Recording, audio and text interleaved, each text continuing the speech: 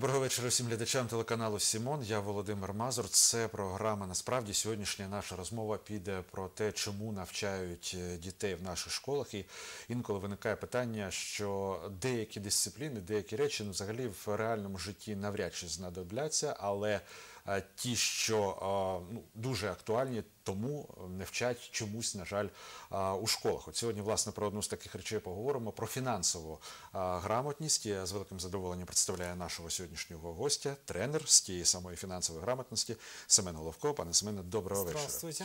Е, Ну, взагалі-то у нас здається. Я, я щоправда вже достатньо давно закінчив школу, і вона була трохи іншою, не така, як зараз модерна і сучасна і прекрасна. Але навіть е, тоді, у радянські часи, якісь там навички того, що відбувається взагалі там на якомусь економічному е, рівні, нам давали Не фінансові, не ринкові, але все одно так чи інакше, ну все ж таки люди розуміють. Насколько было интересно. Абсолютно не цікаво. От чесно, от е, найцікавішим був е, лише предмет, здається, марксистська етика або щось таке основи там сімейного життя.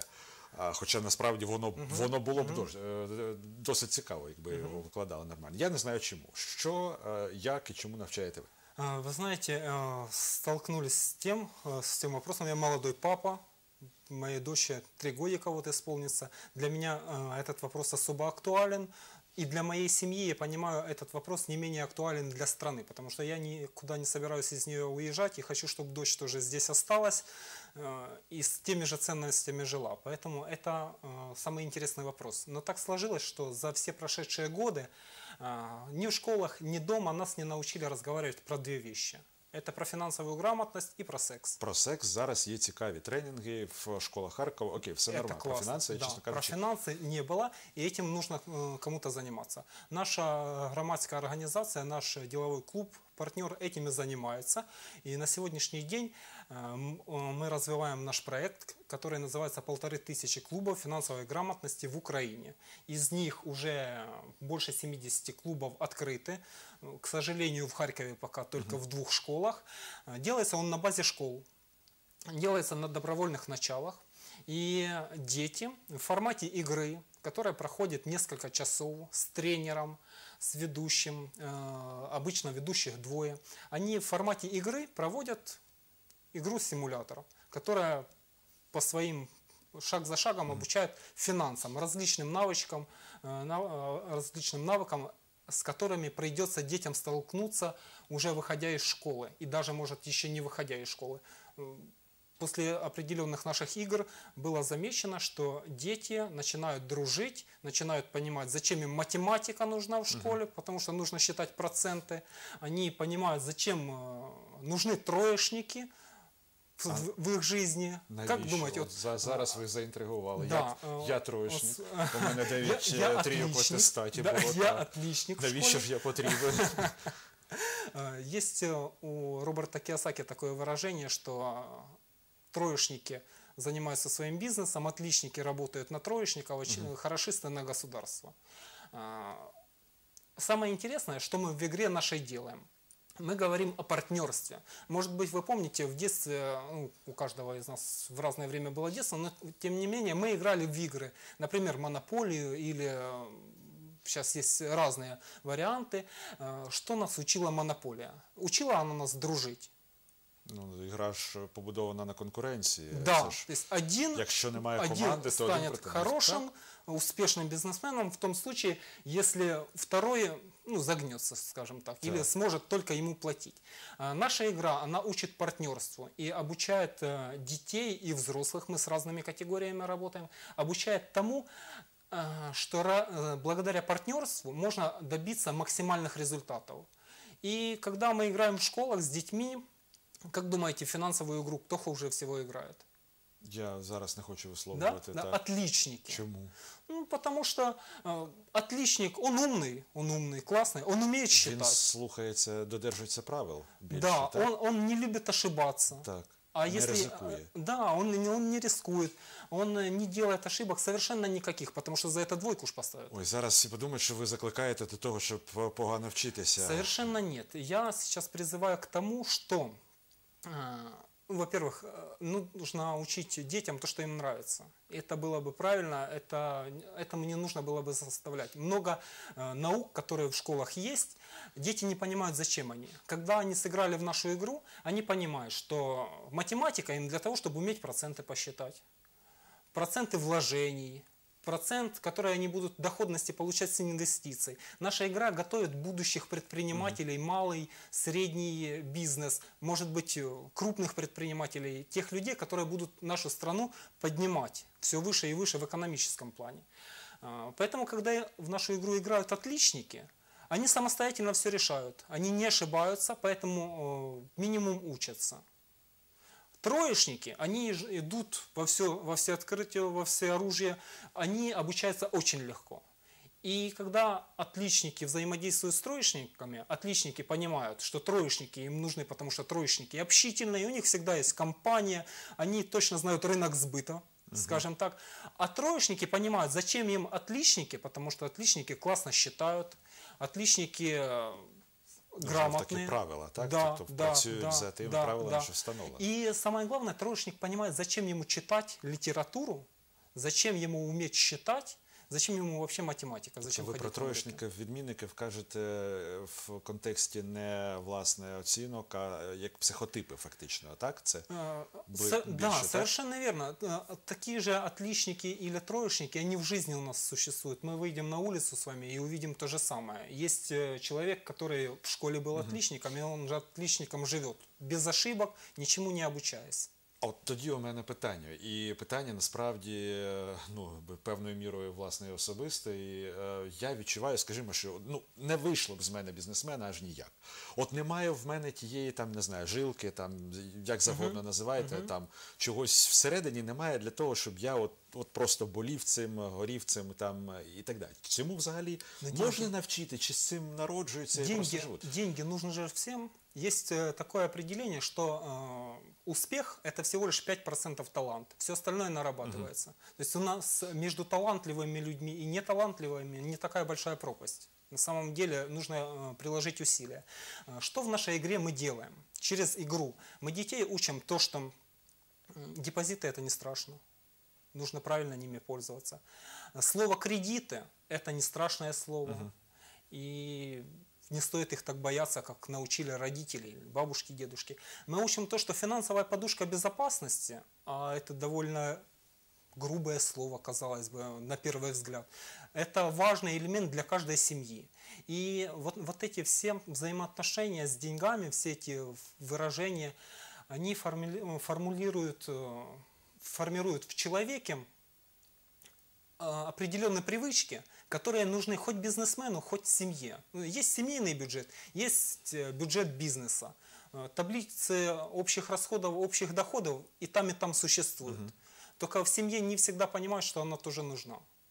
Ну, звісно, що вона потрібна, бо якось все ж таки баланс має співпасти. Так, якщо ти будеш витрачати більше, ніж заробляєш, то певного дня ти просто знайдеш себе там десь. Да, Абсолютно. да. То есть у нас должен быть определенный запас. Э, Привычка откладывать с любого дохода 10%, и этому тоже мы учим на- о, в нашей игре. И, э, знаете, есть выражение «деньги на черный день». Ну так. И это плохое выражение. Ну, некрасивое, оно... не каждый хочет его к себе применять. Но есть э, выражение «деньги на светлое будущее». Это могут быть одни и те же деньги. И сегодня я ехал на эфир, э, водитель говорит, вот такая ситуация сложилась, в прошлом месяце меня уволили с международной компании. И он быстро ищет работу, в это время подрабатывает а, в службе такси. Ну, А если бы у него была финансовая подушка безопасности, может быть, ему не нужно было бы эти несколько месяцев вводить, он бы целенаправленно занимался поиском новой работы, э, спокойно живя на те деньги, которые он скопил. Те, що ви даєте дітям, я розумію, що це ж не вища там а, математика бізнесу, Да, умовно кажучи, да, це якісь це е, просто основа. такі е, основи Да. певні бази. Для якого віку це е, власне А, даєте? У нас есть две версии игры. Э, Основная версия, в которую мы играем, она с 12 лет. Ну и делится по категориям. Э, 12-16 лет это один возраст, э, в который мы играем. Э, В этом возрасте еще нет финансовых привычек, и в семье их обычно не дают. Поэтому эти финансовые привычки закладываются. Мы подсказываем, э, что можно делать, какие есть финансовые инструменты, зачем друзья, э, почему важно дружить. Это же классный навык, когда э, ребенок вышел из школы, и самым главным, что он научился, он научился дружить с людьми. Он... Цьому навчать, здається, теж в школах. Це Да, знов таки, ну да, здається, що да, це это- від людини вот залежить. Скажите, вміє чи это ні. финансовая привычка или нет? А мені здається, що ні. Вот, ви а, кажете, повлияет що- она на финансы? Ну, звісно, маю. Так. Да, да, есть э, определенные задачи, которых в школах действительно нету, и это одни из основных предметов. Финансовая грамотность, что я считаю. Э, Люди боятся выступать на камеру и выступать вообще перед своими даже одноклассниками. Это актерское мастерство. Важно, мне кажется, важно. Человеку важно читать.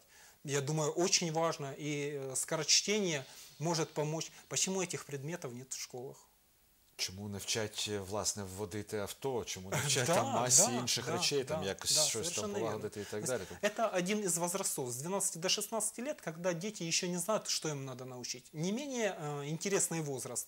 Э, постарше уже 18-25 э, лет э, уже не дети, уже взрослые. У них появляются свои деньги, они начинают зарабатывать. Но какой самый э, ценный ресурс в это время? У них время есть. У них много времени, никто не думает ни про пенсию, ни про то, чтобы отойти от работы. Они максимум зарабатывают, максимум тратят. И как раз в этот период лучше всего им заходит информация о том, что нужна финансовая подушка безопасности. Хорошо может быть не всегда. И через э, год, второй, третий ты можешь не понравиться руководству, и тебя поменяют на другого сотрудника. И что ты будешь делать без денег? А если у тебя, не если даже, а когда у тебя появится семья? Ты же мужчина, ты должен быть ответственный. От я взагалі, чесно кажучи, е, не знаю, як в нашій країні можна давати якісь, е, ну знов таки казати про те, що там базові навички, е, спираючись на нашу історію, навіть там історію 30-річної давності. Якщо ми згадаємо, ну, давайте скажімо про поговоримо про іпотеку. Так, це теж складова велика Да. фінансової грамотності. Вв'язуватися в це або все ж таки там якось е, знімати просто житло і так далі. На заході там одна картина, у нас інша. Люди, які мене, завжди дивувало. Люди, які брали е, ті гроші на кредити, на і кредити під е, іпотеку, так вони, ну вони власне на що розраховували, що вони 25 років будуть працювати отримувати ту ж саму заробітну плату і так далі. Ну слухайте, але де той період в історії нашої країни? 25 років стабільності такої, щоб ти точно знав, що я от взяв гроші і я їх поверну, бо мені будуть платити. Есть ж на сьогоднішній сегодняшний день люди, которые рассчитывают на такие программы. Я от власне Да. про що? Ви закладаєте певні навички, ви кажете про те, що це є базові основи, але ми не можемо прогнозувати. У нас А, країна чорних Владимир, вы лебедів. понимаете, э, эти базовые навычки, они не только для Украины у нас работают. Э, Существует игра «Денежный поток», она общемировая, общепризнанная. Роберт Киосаки ее еще давным-давно создал. И длительное время и наши тренера в том числе в нее играли. Но э, наша игра э, появилась вот два года назад, когда проанализировали то, что игра Роберта Киосаки, она неприменима к Украине. У нас есть определенные нюансы. И нашу игру мы заточили как раз под правила А, вот украинского бизнеса. да. Да, то есть э, все нюансы, все возможные варианты развития событий. У нас в игре существуют такие случаи, как сокращение, и к этому человек тоже должен быть э, подготовлен. Э, рождение ребенка. Это очень ответственная ситуация. И очень интересно, как дети реагируют на вопросы, а сколько на вас тратят родители? Как думаете, что чаще всего дети отвечают? Не, не знаю. Нисколько. Як? Ну, они считают, что не тратят, потому что они хотят тобто не- приставку. не- немає кешу. Да, а, а, они окей. хотят приставку, и папа им не покупает приставку. Он, э, или, допустим, часто они отвечают 10-20 гривен. То есть те деньги, которые им дают на столовую для того, чтобы они покушали что-то в школе. И когда мы после игры с ними садимся и считаем, что а, вот одежда, а вот еда, а вот жилье, а вот сколько это получается? И приходят дети домой, начинают за это благодарить своих родителей. Звонят нам родители, говорят, что вы сделали с нашим ребенком Он понимает, что Чуття провини привели йому. он, он понимает, что э, ребен- с ребенком уже можно говорить про финансы. И он понимает, что э, на какое-то накопление, ну, может на- сделать какое-то целевое накопление и на ту же приставку отложить. А может вообще она не нужна. И на что-то более полезное он потратит. Э, с родителями появляется диалог. Ви лишаєте дітей щасливого дитинства просто. Ви Простите. даєте їм знання про гроші. Це страшне. А, насправді, ну, я жартую, звісно ж, це дуже корисні е, знання і корисні навички, але е, і це взагалі питання власне до всієї освіти, тому що ніхто ж не знає, що у нас буде за 10 за 20 років, які професії, як- виглядатиме фінансовий світ. Е, Модель, яка працює зараз, скажімо так, якщо ти хочеш щось зберегти на той самий там на своє майбутнє, так то от є у тебе вільні гроші, е, кеш, долари там і так далі. Це як надійна гарантія того, що щось там зміниться з валютою, але у тебе щось лишиться. Ніхто не знає, як виглядатиме все через там 15 років. Будуть там біткоїни чи ще щось вигадають, що чого немає зараз. Знов таки, як от це, можна передбачити. Смотрите, І чи не в игре вчимо мы ми это вчорашньому дню? прорабатываем. И когда мы начинаем нашу игру, у нас есть предыстория, есть определенные правила, и в игре мы используем системные понятия. Одна из систем, в которых люди живут, это система угадайки. Веселая, развлекательная. Человек э, решил, что в долларе можно хранить деньги. Так. И он только в долларах все деньги переводит. Что-то с долларом сегодня случилось, он резко у нас э, гривна стала стабильная. Э, Проиграл, не угадал, потерял какие-то деньги, потерял. Завтра он решит, что нужно все деньги инвестировать в недвижимость. И может заморозиться какой-то проект. Легко может заморозиться. Поэтому мы в, игре говорим еще про вторую систему, про систему диверсификации. Когда э, не стоит, э, объясняя э, то, что не стоит складывать яйца в одну корзину, этих корзин должно быть несколько. Если у тебя есть депозит, то они должны быть моновалютные, скажем так, это и гривна, и евро, и доллар, возможно, может кто-то франк.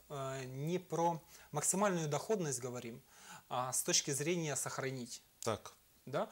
А, Есть и другие программы, накопительные, страховые программы. Этим э, ребенок, взрослый, он должен уметь этим пользоваться. Я вас зрозумів. Ви казали все ж таки про те, що гра. Ви згадували, що існувала в наші часи, ми гралися в монополію. Вони зараз граються в онлайнові ігри. Там є теж е, велика завжди економічна складова, в тому числі із е, донатити, як вони кажуть, е, реальні, реальні е, гроші і так далі. Завжди е, кінцева мета є перемога, і власне це індивідуальна перемога. Але ви щось сказали про зовсім іншу філософію. В чому кінцева мета вашої гри? Смотрите, а, изначально игра начинается с того, что а, ребенок или взрослый выбирает себе мечту. Довольно резкое и странное слово в, наш- в наших реалиях, что такое мечта, но дети относятся к этому понятию довольно легко. Каждый из них кто-то э, э, кем-то мечтает стать, что-то заработать, что-то купить, что-то сделать, может быть президентом стать. А, И мы с этого начинаем нашу игру. Мы выбираем мечту, потому что корабль, который не знает, куда плыть, ему никогда не будет попутного ветра. И дети с восторгом, также и взрослые, нужно э, наблюдать, как они над игровым столом стоят и смотрят, а что им хотелось раньше и что они хотят сейчас. И мы объясняем, что у нас есть два круга в нашей игре. Это круг финансовой независимости, это э, беличьи бега, то, что у нас происходит ежедневно в жизни. Э, Это когда денег хватает на все наши траты. Ну, мы зарабатываем, денег хватает на хлеб с маслом или на поездку один раз в Турцию, допустим, год. И есть круг финансовой свободы, когда денег хватает на все, но это, эти деньги пассивный доход. Пассивный доход в нашем понимании не то, когда ты просто лежишь и ничего не делаешь, а то, когда ты гораздо меньше можешь делать и чувствовать себя спокойно. И тебе каждое первое число, не знаю, последнее число месяца будут заходить деньги на счет. Рантьє, як казали раніше, фактично. Так? Да, да. Да. Вот, это, вот эти составляющие игры. И есть несколько целей у нас в игре. Э, Первый раз, когда человек садится играть в нашу игру, довольно сложно, не имея финансовых привычек, э, которые он использует в обычной жизни, э, купить сразу свою мечту, выйти на большой круг, э, круг финансовой свободы. Э, Практически нет такой вероятности. И все кружат на маленьком круге, э, получая свои уроки. Но когда у тебя сложились определенные навычки, или, допустим, мы играем с предпринимателями, они играют совсем в другую игру, и уже через несколько часов они переходят на большой круг, потому что эти привычки у них есть в жизни. Вот одна из э, целей – это купить мечту. Если не получилось купить мечту, э, цель выйти на, финансово, на круг финансовой свободы. Не получилось э, заработать пассивный доход в таком формате, чтобы его хватало на ваши траты. Добре, якщо хтось е, захоче з дітей, з дітей з батьками долучитися до вашої ініціативи, як це конечно. власне зробити, де вас А, знайти? Вы можете найти меня на странице в любых соцсетях, в Facebook или Instagram, а, Семен Головко. А, Смотрите, подписывайтесь, я довольно много информации туда выкладываю. Либо найти наш про- проект э, «Делову- «Деловой клуб партнер», э, тоже в Фейсбуке, подписаться и много информации получить оттуда. Я вам дуже дякую за те, що робите, за те, що ви сьогодні прийшли до нас в гості, і дякую, що дивилися нас сьогодні на цьому. Спасибо за жаль, все. приятный Всього Щасти вам, хорошого. до побачення.